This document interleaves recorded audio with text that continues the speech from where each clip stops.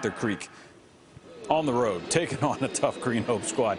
It's coming off a score to make it 20 to 3 Panther Creek. They line drive the kickoff. It's bobbled by Green Hope, recovered by Jaden Carter. Panther Creek ball. That's a momentum changer right there. Fired up about it. Oh, you better believe they're fired up about it. Take that thing back to the sideline. And on that drive, it's Samari Odom hitting Bradley Garrity. Gets him inside the five-yard line before he's finally taken that. Oh, oh, so close over the pylon, too. They'd finish off that drive with a touchdown when Odom hits Sergio Castellan. He's going to finish strong to get in the end zone. 27 to 3 at the time. Panther Creek, when it was over, Panther Creek wins it final 30 to 3.